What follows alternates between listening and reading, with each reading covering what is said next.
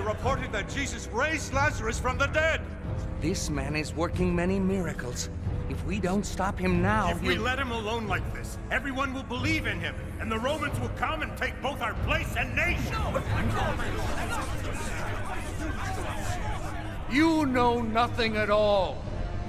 Nor do you consider that it is expedient for us that one man should die for the people, and not that the whole nation should perish. From that day forward, they plotted to kill Jesus.